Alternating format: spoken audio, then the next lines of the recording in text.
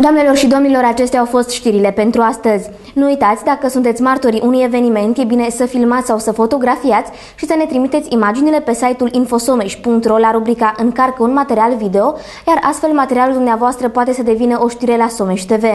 Eu sunt Daniela Moldovan și vă mulțumesc pentru atenție. Vă doresc o seară frumoasă. La revedere!